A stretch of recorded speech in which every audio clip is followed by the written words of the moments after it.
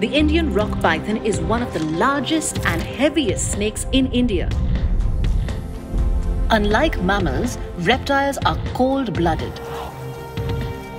Pythons depend on the external environment to regulate body temperature.